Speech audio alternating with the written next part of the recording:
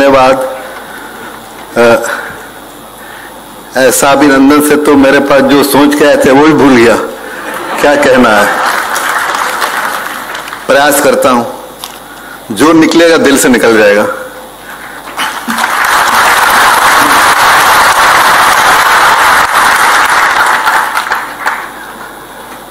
मंच पर पीटासीन जस्टिस संजय करोल, जज supreme court of India president secretary Bihar state civil courts employees association मेरे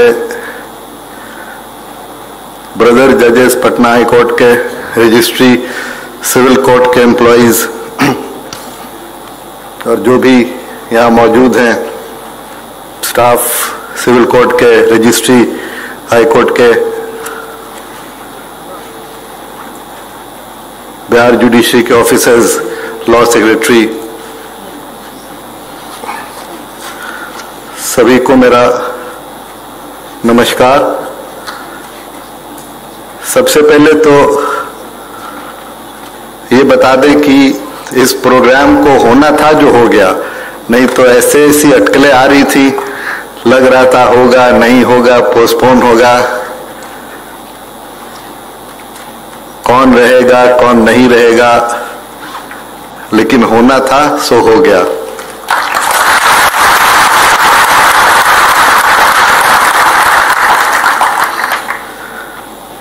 मैं आपको ये धन्यवाद नहीं कहूँगा कि आपने मुझे बुलाया, क्योंकि मैं अपने परिवार में आ रहा हूँ। इसलिए मुझे धन्यवाद करने की आवश्यकता नहीं है, लेकिन हाँ। आपने इतने बड़े स्केल से इतने हौसले के साथ ये जो ऑर्गेनाइज किया है, ये देख के मन उत्साहित होता है और ये भी बहुत अच्छा लगता है कि आप में एकता है। आजकल हर जगह जो मूल चीज़ की कमी है वो एकता। हर कोई अपना राग अलापता है, अलग भाषा बोलता है। कोई एकजुटता नहीं होती है, हर कोई बस अपने ही एजेंडा पर लगा रहता है।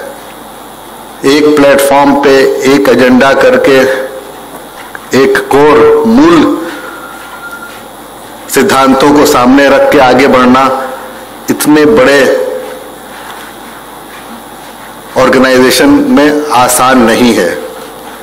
तो मैं आप लोग का अभिनंदन करता हूँ कि आप आज के दिन भी एकजुट हैं और उससे आगे बढ़ के मैं बोलना चाहता हूँ, एकजुट ही नहीं, आप डिसिप्लिन हैं, आप अपने सीमा में रह के अपनी बातें करते हैं।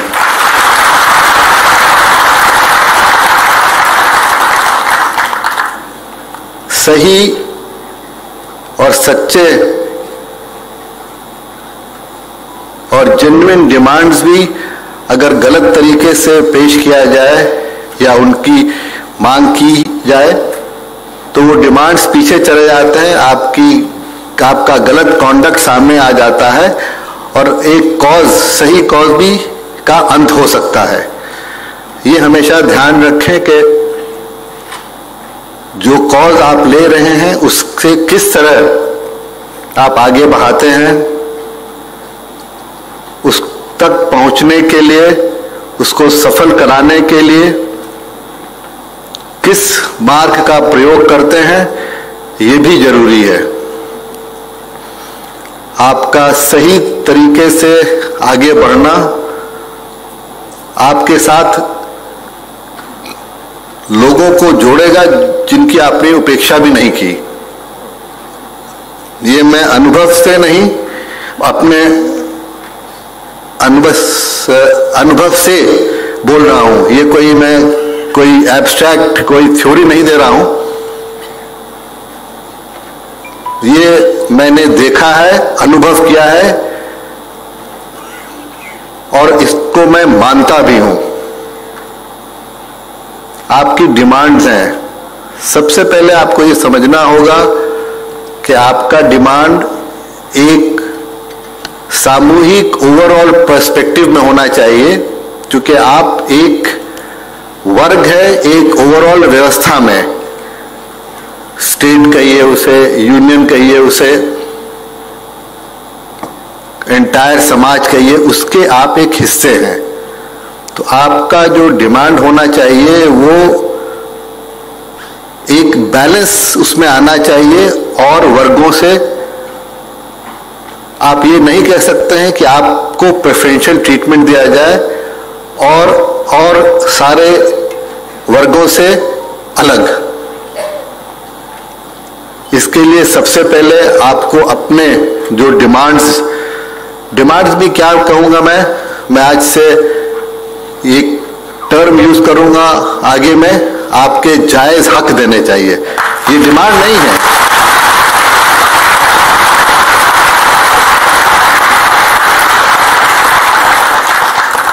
डिमांड जहाँ आप बोलते हैं, लगता है एक कन्फ्रंटेशन है, आपस में लड़ाई है, मेरी ये मांगे हैं। पूरा करिए, नहीं एक स्लोगन था, हमारी मांगे पूरी हो, चाहे जो मजबूरी हो तो वो कन्फ्रंटेशन आ जाता है फिर। एक जायज़ जो आपका हक है, वो आपको मिले, और हमको नहीं लगता है कि किसी भी क्वार्टर से आपके इस जायज़ हक को नहीं देने का प्रयास होगा या कोई अड़चन उसमें आएगी, शर्त यही है कि आपकी जो जायज़ मांगे हैं, हक है, आपको डिसाइड करना होगा कि आज की स्थिति में एक या दो, ये हमारी प्रायोरिटी है। आप एक साथ दस चीज़ों को लेकर चलेंगे तो एक भी नहीं मिलेगा। मैं आपके संघ के नेताओं से, जिनसे मैं संपर्क में हूँ, कई महीनों से, इसके पहले जब मैं यहाँ था, मैं हमेशा ये कहता था कि पहले आप अपनी समस्याएँ देखें, उसे फिर प्रायोरिटाइज करें कि किसे, किसका स्थान सबसे ऊपर है, किसको देना या किसको मिलना बहुत ही अनिवार्य है, और जिसके बिना एक सच में जेनविन बाधा है आपके काम करने में। इसमें कोई दो राय नहीं है कि आप जो काम कर रहे हैं, बिना इसके न्याय प्रणाली चल ही नहीं सकती। जजेस का रोल आपके सामने सेकेंडरी है, क्योंकि जजों तक केस या फ़ाइल आने के पहले वो बिना आपके माध्यम से आ ही नहीं सकता है। और ये माध्यम जो है, जो रियल में जुडिशरी को पब्लिक से जोड़ता है, ये बीच के सूत्र आप ही हैं, नहीं रहने से ये सारी व्यवस्था उसी नीचे लेवल पर ही ठप हो जाएगी। अब यहाँ आपको सोचना है कि आप जो इतने इंपॉर्टेंट पोजीशन पर हैं, इस पोजीशन को बार्गेनिंग टूल जैसा यूज़ न करें। ये न करें कि भाई देखिए हम ये नहीं करेंगे मैं आपको इस प्रणाली को रोक दे दूँगा non cooperation work to rule उससे क्या होता है, आप अपने लिए तो दुश्मनी क्रिएट करते ही हैं। पब्लिक के नज़र में भी आपकी छवि नीचे हो जाती है। इसलिए कहीं पब्लिक में डिस्कशन अगर होता है कि भाई सिविल कोर्ट एम्प्लॉयज़ के ये डिमांड है पब्लिक में एक रोष होता है, एक रिएक्शन होता है। वो सीधे तुलना करती है कि देखिए आपका रवैया कैसा रहता है। हम जाते हैं, हमको नॉन कोऑपरेशन रहता है, ठीक से बात नहीं करते हैं। तो आप एक अनजाने में एक अपने खिलाफ एक फोर्स तैयार कर रहे हैं टोटल अनजाने में। हल्का सा भी अगर आप ध्यान दीजिए कि अगर आपकी छवि पब्लिक में अच्छी रहेगी तो आपके डिमांड्स में बल मिलेगा बिकॉज़ उसका पब्लिक का अप्रूवल रहेगा। अल्टीमेटली गवर्नमेंट क्या है? पब्लिक के विल का रिफ्लेक्शन है। हमारे यहाँ डेमोक्रेसी है। It is the will of the people तो अगर पीपल में आपकी छवि अच्छी रहेगी गवर्नमेंट को भी एहसास रहता है कि पब्लिक में क्या फीलिंग है। आज के दिन में देखिए, बहुत कुछ जो फ्रिक्शन जो हम प्रेस में पढ़ते हैं, देखते हैं, दोनों इंस्टीट्यूशन के बीच में क्यों है? ये एडवांटेज मिल रहा है उन फोर्सेस को जो जान रहे हैं कि आपकी छवि चूँकि पब्लिक में उतनी अच्छी नहीं है, इसलिए आपको आपका हक भी नहीं देंगे तो बहुत ज़्यादा उनके लिए वो कोई इंपॉर्टेंस नहीं रखता है। और अगर किसी चीज़ का कोई इंपॉर्टेंस नहीं रहता है तो कितनी ही जेन्युइन हो, वो इंसानी फितरत है, स्वभाव है कि उसे नहीं मिलता है। हर चीज़ के लिए हमेशा कॉमन पार्लेंस में हम जानते हैं कि आपको अपनी बात रखने के लिए फोर्सफुली रखने के लिए एक ऐसे मंच के ऊपर आना पड़ेगा, जहाँ आप खुले माइंड से विचारों का आदान प्रदान करें। इस कॉन्फ्रेंस के लिए भी शुरू से हमारी प्रयास थी। प्रयास रहा। आप लोग ने भी काफ़ी कोशिश की कि सारे पक्षकार state government Patna high court आप लोग रहेंगे। सब एक मंच पर इकट्ठा होंगे और इस मंथन में से कुछ ना कुछ तो अमृत निकले हीगा कुछ बात आगे बढ़ेगी। खैर, जो नहीं हुआ उसके लिए नहीं रोना। जो हो गया इतना ही काफ़ी है। बट इसका असर जो मेरे, मैंने कल्पना की थी, क्योंकि मैंने हमेशा यही चाहा है और मेरी ये प्रयास रही हर जगह। मैं बहुत ज़्यादा फॉर्मेलिटी में बिलीव नहीं करता हूँ। फॉर्मल फ़ंक्शन बैठ के बड़ा सा कॉन्फ्रेंस जब तक के उसका कोई ठोस मकसद नहीं हो और जब तक कि उसमें से कुछ ठोस निकलने की उम्मीद नहीं हो। आप पाए हमको सुनेंगे, मैं भी अच्छी अच्छी बातें करूँगा, एक कॉन्फ्रेंस खत्म हो जाएगा, आगे क्या? यहाँ से कोई बात तो निकलेगी नहीं। विचार विमर्श होगा। एक विचार मैं बोलूँगा, कुछ विचार और लोग यहाँ से आके बोलेंगे। वो विचार सोचने के बाद रह जाएगा एकेडमिक डिस्कशन हो जाएगा, एक सेमिनार हो जाएगा, बात खत्म हो गई। मकसद तो है कैसे आपके जो जेन्युइन मसले हैं प्रॉब्लम्स हैं, उनका समाधान हो। और इसके लिए जब एक बात सामने आती है तो एक बात से जुड़ी बातें बहुत सारी निकल जाती हैं। हमारे यहाँ क्यों कहा जाता है कि रेड टेपिज्म बहुत है? क्या मतलब है? एक बात निकली, वो एक साइड ने दूसरे साइड को चिट्ठी से भेजी। अब उस पर से कोई उसके काउंटर व्यू है, वो चिट्ठी से आएगा, फिर जाएगा। तो ये अंत कभी इसका हो ही गा नहीं। आप देख रहे हैं अभी जैसे आपका अमेंडमेंट की बात हो रही है। कितने बार वार्तालाप हुई। हमने भी, जब हम थे हमारे मुख्य न्यायाधीश जी, उस समय जस्टिस संजय करोल जो यहाँ अभी मौजूद हैं, हमारे कितना हम लोग ने कोशिश किया हाई लेवल कॉन्फ्रेंसेस किया लॉ सेक्रेटरी रहे फाइनेंस सेक्रेटरी को बुलाया गया, सबको बुलाया गया। आश्वासन मिलते रहे हाँ काम आगे बढ़ेगा, ये बात होगा। लेकिन फिर जाने के बाद वहाँ से चिट्ठी कुछ ऐसी आती थी, जिसे लगता था कि वो सारे प्रयास विफल हो रहे हैं। थोड़ा सा समय का भी अभाव रहा और जो चीज़ जिस समय लिखी है वही समय उसका है, होना है। हम लोग उसको लॉजिकल एंड तक फॉलो नहीं कर सके। मुझे पता नहीं है कि वो कितना भर आगे बढ़ा। काफ़ी हद तक चीज़ें बैठ के क्लियर हो चुकी थी, जाके एक फॉर्मल डिस्कशन करना था गवर्नमेंट लेवल पे और उसे फिर इंप्लीमेंट करना था।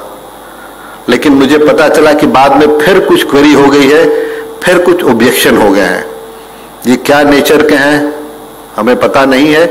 लेकिन जो भी हो, चूँकि आपके ये सारे जो समस्याएँ हैं, उसमें से मेजॉरिटी ऐसी समस्याएँ हैं जिनको कोई नकार नहीं सकता है।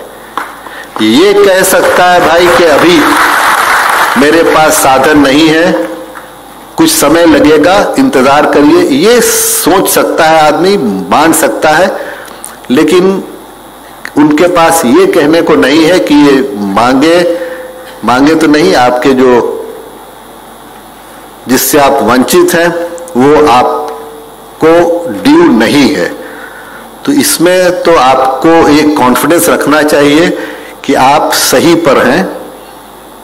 समय की बात है। दूसरे साइड को कन्विंस करना है। और हमेशा एक बात याद रखें कि आप अपने समस्या को समझते हैं। सबसे बड़ी समस्या है। आपके लिए सबसे बड़ी समस्या है। लेकिन जिस पक्ष को इस समस्या से डील करना है चाहे वो हाई कोर्ट हो, चाहे गवर्नमेंट हो, उसकी भी मजबूरी आपको ध्यान में रखना होगा, क्योंकि आप भी नागरिक हैं इस स्टेट के। हाई कोर्ट के सामने समस्याएँ बड़ी हैं वाइडर विजन है, उनके सामने बहुत सारे इश्यूज़ हैं। एक डिसीज़न हाईकोर्ट लेता है, उसके रेमिफिकेशन बहुत होते हैं। फ्यूचर में क्या होगा? प्रेजेंट प्रणाली पे क्या होगा? उसको आपको अप्रिशिएट करना है और हाईकोर्ट को आपको मान के चलना होगा कि आपके हित में काम करेगा। ये कॉन्फिडेंस आपको रखना है अपने हाईकोर्ट पर मैं चूँकि हाईकोर्ट का पार्ट रह चुका हूँ और अभी भी इस प्रणाली से जुड़ा हुआ हूँ, मैं हाईकोर्ट की तरफ़ से और जनरल जुडिशरी की तरफ़ से आपको इतना बार बोल सकता हूँ कि आपके एंटी कोई नहीं है। हर कोई पॉजिटिव है, लेकिन अगर कहीं कुछ देर होती है, चूक होती है, इसका मतलब है कि कहीं कुछ समस्या में कुछ पेच लग गया है, गाड़ी कहीं अटक गई है। उसका समाधान होना अनिवार्य है, और समाधान है भी। इसके लिए समय चाहिए, बैठ के अच्छे वातावरण में डिस्कशन होनी चाहिए। अभी कुछ महीनों में ये अध्ययन करने का मौका मिला है गंभीरता से कि क्यों ये समस्या आज के दिन हो गई कंफ्यूजन हो गई, जो पहले एक चीज़ थी 2022 में फिर बदल गया। उसका कारण कंफ्यूजन है। बट ये कंफ्यूजन हुआ क्यों? सबसे बड़ा कारण कंफ्यूजन का है कि हर साइड ने समझा कि ये रूटीन चीज़ है नॉर्मल चीज़ है, ये तो हो ही जाएगा। कभी किसी ने सोचा नहीं कि इसमें क्या आपके खिलाफ जा सकता है या क्या कंफ्यूजन हो सकता है, ताकि पहले ही ड्राफ्ट में ये सब सुधार करके, त्रुटि को हटा के ये गाड़ी आगे बढ़ती। लोगों ने समझा, हमने भेज दिया, ये रूटीन मैटर है, कोई ऑब्जेक्शन लगेगा नहीं। और आपको सरकार की तरफ़ से एक पॉजिटिव रिस्पांस आ जाएगा। ये एक थोड़ी सी, मैं कहूँगा ओवर कॉन्फिडेंस था हम लोगों में, क्योंकि हम लोग समझते हैं कि भाई अगर कॉज जेन्युइन है, आप ठीक बोल रहे हैं तो क्यों नहीं होगा? ठीक तो है, लेकिन उसे करने का माध्यम होना चाहिए ना।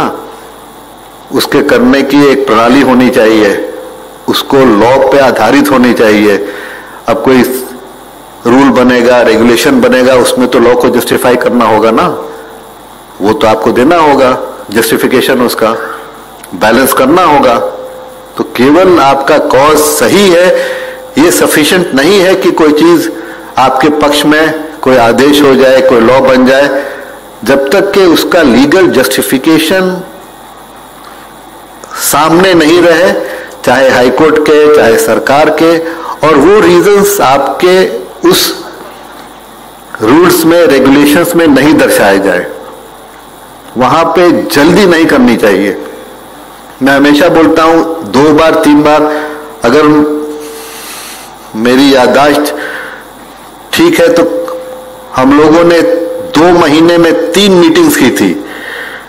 अभी तो पुराने वाली कोई व्यवस्था वाले रजिस्ट्रार नहीं जनरल साहब, लेकिन अगर बरदाज आप हैं, हम लोगों ने तीन मीटिंग की थी ना? तीन मीटिंग की थी लॉ सेक्रेटरी फाइनेंस सेक्रेटरी के लेवल पे। तीन मीटिंग्स की थी दो महीने के अंदर में। और बहुत सारा लगा कि ये मामला सलट जाएगा। लेकिन फिर भी कंफ्यूजन दूर नहीं हुआ।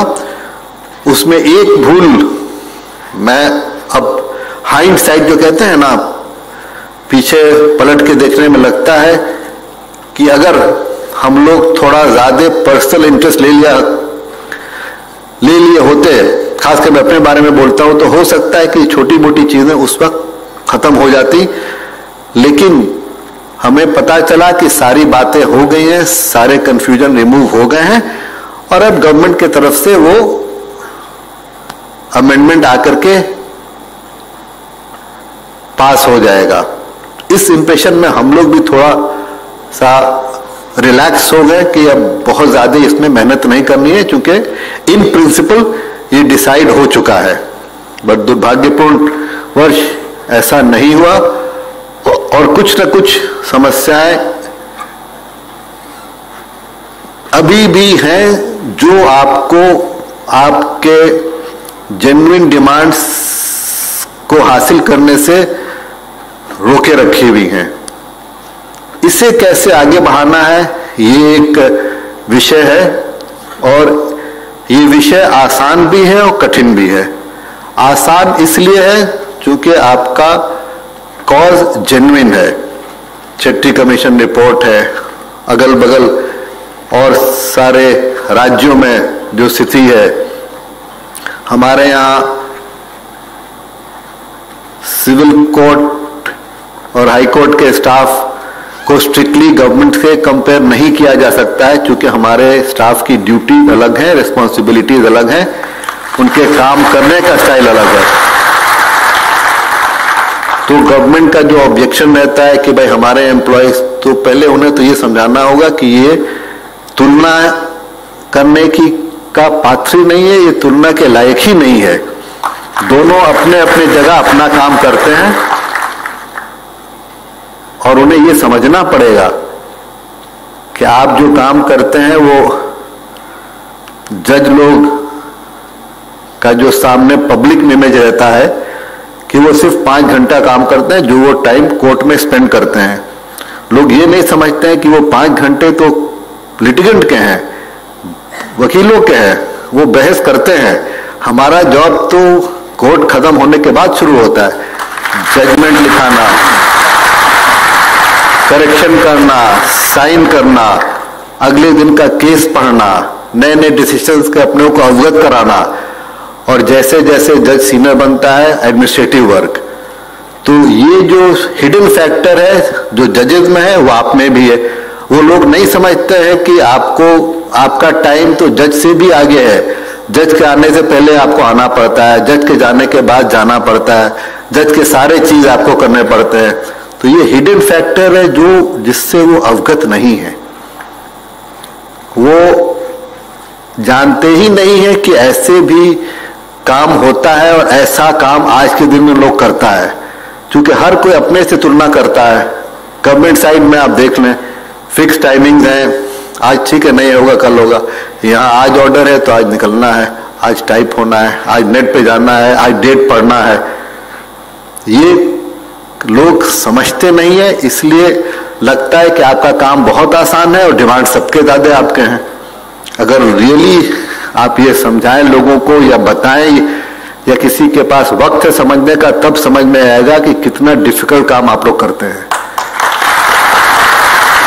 और सबसे डिफ़िकल्ट थोड़ा लाइटर वे में बोल रहा हूँ, वो आपके अपने पीयूष के नखरे भी आपको झेलने पड़ते हैं। तो ये तो एक अलग इसके लिए तो कुछ और बोनस वगैरह देना चाहिए। हार्ट चिप अलाउंस से जो कहिए तो खैर ये ये सच में डिमांड में मत रख दीजिएगा, ये मैं लाइटर वे में बोल रहा हूँ। तो ये ये व्यवहारिक चीज़ सबको समझ में नहीं आती है। इसके लिए आपको लोगों को समझाना होगा, सरकार सरकार के तरफ़ जो लोग हैं, उनको भी समझाना होगा, क्योंकि अच्छे अच्छे ऑफिसर्स में भी ये ये ज्ञान कहिए, या ये समझ नहीं है कि आप जो करते हैं, वो उसका क्या नेचर है? आपकी पर्सनल लाइफ, फैमिली लाइफ, सब कुछ रोटेट करती है कोर्ट व्यवस्था पर। आप जो अपने को समर्पित करते हैं, उसके लिए आपको कॉम्पेंसेशन होना चाहिए। जिस टाइप का आप काम करते हैं, उसका आपको मुआवजा मिलना चाहिए। ये आपका एक अधिकार है जिसे कोई डिनाई नहीं कर सकता है। ये बात तो हम आगे बढ़ाएँगे। कुछ, अब जो आपने एक सेमिनार रखा है, जिस चीज़ पे उसके ऊपर सबसे पहले तो ऐसे मैंने आपको कहा कि आप ऐसे माध्यम हैं हम लोग बराबर जुडिशरी में कहते हैं कि हमारे जो सिविल कोर्ट्स हैं, ये पहला माध्यम है face of the judiciary because वहाँ सामने क्लाइंट आते हैं जज को देखते हैं तो रिलेट करते हैं। लेकिन उनसे ज़्यादा भी वो आपसे रिलेट करते हैं। क्योंकि सारा काम उनका आप ही के माध्यम से होता है, चाहे हाजिरी देना फाइलिंग करना ऑर्डर निकालना, जो भी करना हो तो एक्चुअल में जुडिशियल का रियल इंटरैक्टिव फेस आप हैं। इसके लिए मैं केवल यही कहूँगा, अपने जुडिशियल ऑफिसर से यहाँ है नहीं बट हमारे रजिस्ट्रार जनरल साहब हैं। ये हमारी फीलिंग्स कन्वे करेंगे। मैं हमेशा बोलता हूँ कि आपको अपने स्टाफ को रिस्पेक्ट देना होगा। रिस्पेक्ट देने से दो काम होते हैं। आप जितना रिस्पेक्ट दूसरों को देंगे, उतना ही रिस्पेक्ट आपको मिलेगा। एक इंग्लिश की कहावत है ना respect has to be commanded it cannot be demanded और इसका एक और फ़ायदा है, जिस, जो बहुत ही ज़्यादा फ़ायदा है। अगर आप रिस्पेक्ट देंगे तो हर स्टाफ आखिरकार वो भी इंसान है, वो आपके साथ कोऑपरेट करेगा, ज़्यादा कोऑपरेट करेगा और खुशी से कोऑपरेट करेगा। सो आपका काम आसान हो जाएगा अगर आपके स्टाफ जो अटैच हैं, वो ईमानदारी से डिवोटेड होकर के पूरे मन से काम करें। काम तो आपका टफ है ही, कोई वर्किंग आवर्स नहीं है। वीकेंड भी खुल जाते हैं लोक अदालत आ जाते हैं। कोई चीज़ पड़ा हुआ है, कोई पेंडिंग वर्क है फाइल्स खोजने हैं रिकॉर्ड रूम भरना है अनडेटेड को डेटेड करना है तो जो छुट्टी है, वहाँ भी काम करना है आपको। और मेरे लिए मैं अपने अनुभव से बोल रहा हूँ सुप्रीम कोर्ट में भी बहुत सारी चीज़ें होती जो मैं अपने कोर्ट मास्टर से पूछता हूँ कि ये हम कर सकते हैं कि नहीं, इसमें बताइए क्या है। वही हाल आप लोग का भी है। बिना आपके तो जज लोग आगे बढ़ ही नहीं सकेंगे, अगर आप नहीं बताएँ कि सर इसमें क्या करना है। तो आप तो डायरेक्ट न्याय प्रणाली में दोनों साइड से पब्लिक साइड हो, चाहे जुडिशियल साइड हो, सारे काम जज साहब के फ़ाइल मैनेजमेंट कोर्ट ठीक रखना, सारा चीज़ आप ही के ऊपर होता है। और डावर्स रहता है।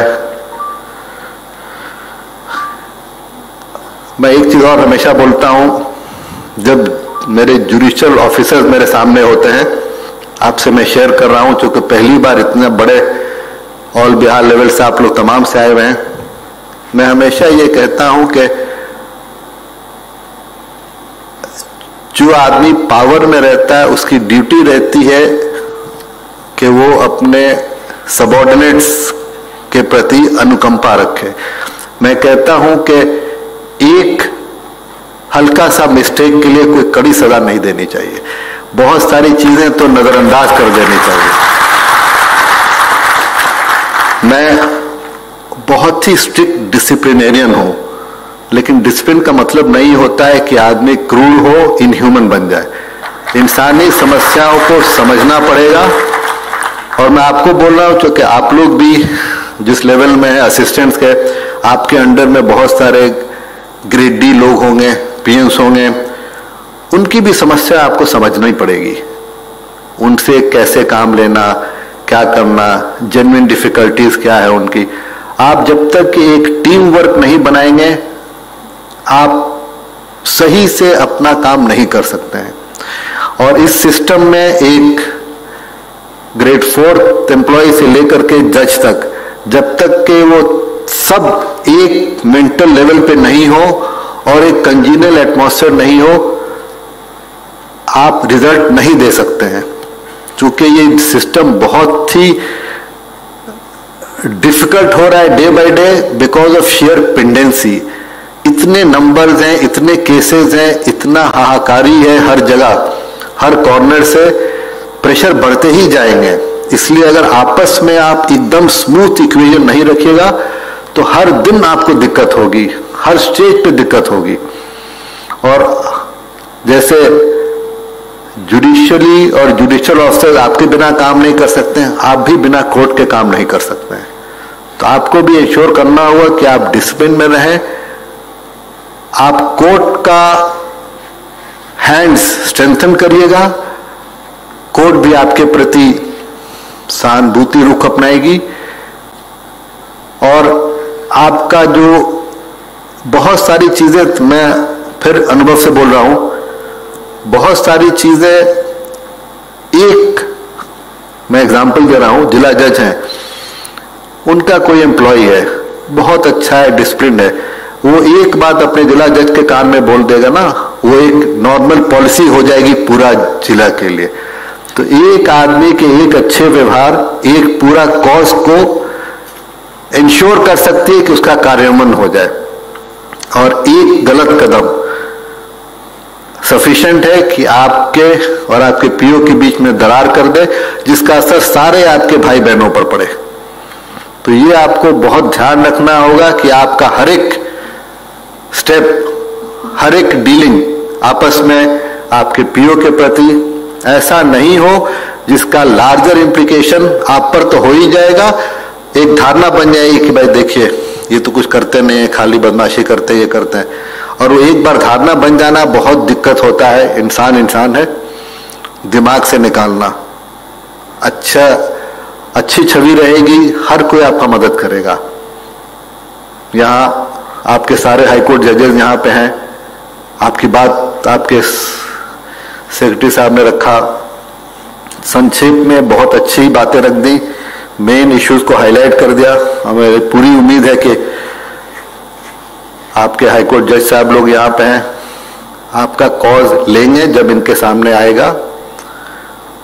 और ऐसे भी हमको लगता है हर एक जज कोई ना कोई डिस्ट्रिक्ट के इंस्पेक्टिंग जज रहते हैं। आप उनके सामने जब आते हैं, मुझे तो पता है, मैं जानता हूँ, हमेशा का ट्रेडिशन भी रहा है कि हमेशा सिविल कोर्ट के एम्प्लॉयज़ से मिल करके उनके समस्याओं का डिस्कशन होता है। जब भी कोई इंस्पेक्टिंग जज जाता है अपने जिला में, वो अपॉर्चुनिटी लीजिए, समझाइए। आपको एक माहौल क्रिएट करना होगा कि जहाँ हाईकोर्ट खुद समझे कि हाँ देखिए, ये ऐसी चीज़ है जो हम, ये हमारे ऊपर एक ज़िम्मेदारी है कि मैं अपने एम्प्लॉयज़ को दूँ। फिर आपको बहुत ज़्यादा उसके पीछे नहीं करना होगा, ऐसा एक माहौल बनाइए और माहौल बनेगा वो। हम बता रहे हैं हाईकोर्ट में कैसे होता है, अभी सुप्रीम कोर्ट का भी वही है। आपस में बातें होती हैं, जजेस में बहुत खुल के बातें होती हैं। लोग डिस्कस करते हैं कि भाई देखिए, मैं यहाँ गया था, वहाँ ये समस्या है, फला है। उसी में से कुछ समस्याएँ आती उभर के कि भाई कॉमन आ रही हैं। उस पर हाईकोर्ट सो मोटो एक्शन लेता है, ध्यान देता है। तो आप अगर सही तरीके से अपनी बातें रखेंगे, अपने इंस्पेक्टिंग जजेस को, और हाईकोर्ट में आकर के जो सीनियर जजेस हैं ऑनरेबल चीफ जस्टिस हैं ऑनरेबल जे डी वन है ऑनरेबल जे डी टू है। स्टैंडिंग कमेटी उसमें आप रखेंगे अपने माध्यम से तो हमको नहीं लगता है कि आपके एक दो बातें जो प्रमुख हैं आपकी, जो पहले से भी डिस्कस कर रहे हो, अभी जो आपके सचिव साहब ने कहा है, उसे हासिल करने में बहुत एक लंबी लड़ाई नहीं लड़नी पड़ेगी, या लड़ाई नहीं लड़नी पड़ेगी, समय की बात है, कब होता है वो।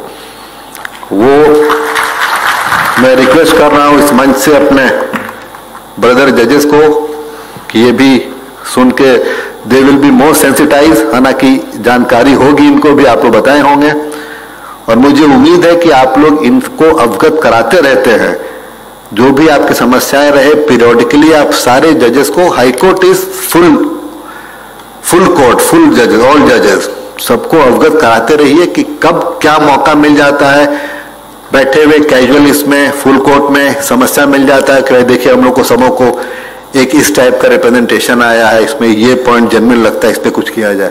आप नहीं जानते कैसे समस्याएँ जिनका समाधान होना होता है, कैसे हो जाती है।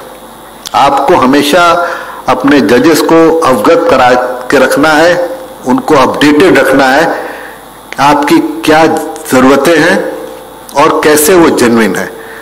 अब आप ठीक बोल रहे हैं, शेट्टी कमीशन ने, उसके बाद के भी जजमेंट्स है सुप्रीम कोर्ट ने, जो सुप्रीम कोर्ट ने कहा है कि ये स्टेट्स के अब डिस्क्रिप्शन नहीं है, ये अनिवार्य है, देना चाहिए। लेकिन उसमें भी हर जजमेंट को आप चार बार पढ़िएगा तो चार वकील जो है, वो चार तरह का राय देगा आपको। तो आपको दिखाना होगा कि अपना जो रास्ता है, जो आप सही समझ रहे हैं, जो जिस पर आप रिलाई करें, वही बात सही है। उसको मनवाने के लिए भी आपको एक प्रयास करना होगा। प्रॉपर माध्यम से। और मैं रिक्वेस्ट करूँगा ऑनरेबल जजेस में रजिस्ट्रार जनरल साहब, आप ऑनरेबल चीफ जस्टिस से कह सकते हैं कि ये जो डिस्कशन हमारे हाई कोर्ट के और ऑफिसर्स के बीच में होते हैं, उसमें एक या दो सिविल कोर्ट एम्प्लॉयज़ एसोसिएशन के लोग रहें, ताकि उसी समय वो ऑब्जेक्शन जो है, वो क्लियर हो सके। वहाँ कोई रिप्रेजेंटेटिव आपका नहीं रहता। ये अब मैं समझ रहा हूँ क्या क्या क्या हम लोग की छोटी छोटी जो ओवरसाइट कहते हैं ना, होने से अगर हो सकता है ये तीन मीटिंग में अगर आपका कोई रिप्रेजेंटेटिव रहता, उसी समय पॉइंट आउट हो सकता था कि देखिए हम लोग ये चीज़ मिस कर रहे हैं। हो सकता है कि ये बहाना होकर के गवर्नमेंट इसको नहीं माने। तो वो समस्या हो सकती थी। तो आप रहिएगा तो वो सब मीटिंग ज़्यादा इफ़ेक्टिव रहेंगी और उसमें सक्सेस होने का ज़्यादा चांसेस रहेगा। तो ये रिक्वेस्ट मेरा है जनरल साहब आप कन्वे कर सकते हैं। बाकी बाकी मेरे बदर जजेस यहाँ हैं कि जो स्टेक होल्डर हैं और आपकी अगर बात हो रही है तो बिना आपके तो मतलब ही नहीं रखता है। अगर आपकी बात हो रही है तो हाईकोर्ट में आपको भी उस मीटिंग में होनी चाहिए। वहाँ पे। जो आदमी सारा चीज़ जानकारी हो आ, मैंने बहुत समय ले लिया और आ, मुझे भी सुनना है। मेरे भी अभिभावक जस्टिस करोल साहब से, क्योंकि मैंने बहुत कुछ सीखा इनसे। इन्होंने मुझे काफ़ी इनकरेज किया। एडमिनिस्ट्रेशन में मुझे अपना सहयोगी बनाया, बहुत फ्रीडम दिया और मुझ पर ट्रस्ट किया। थोड़ा बहुत भी जो अचीव कर सकें तो अब हम भी सुनना चाहेंगे कि ये आपको क्या मार्गदर्शन देंगे। जो आपको अपने मंजिल तक जल्दी और आसानी से पहुँचा सके। धन्यवाद। जय हिंद।